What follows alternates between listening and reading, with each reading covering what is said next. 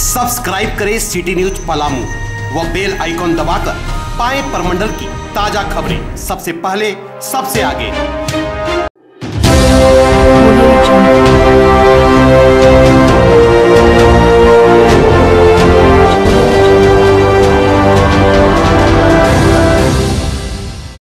बुधवार की रात्रि छतरपुर थाना क्षेत्र के चुचरूमार गाँव निवासी कामेश्वर सिंह के पुत्र सकेंद्र सिंह की अज्ञात लोगों के द्वारा गला दबाकर हत्या कर दी गई। 22 वर्षीय मृतक को घर के नज़दीक गुड़वलिया अहरा के पास मारकर पेड़ के सहारे बैठा दिया गया।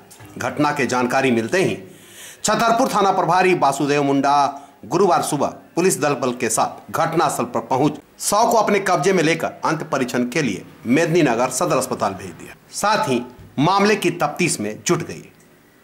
पुलिस व गाँव वालों की माने तो हत्या प्रेम प्रसंग को लेकर की गई है। पुलिस ने बताया कि हत्या की गहनता से जाँच किया जा रहा है। अपराधी जल्द ही गिरफ़्तार कर लिए जाएँगे।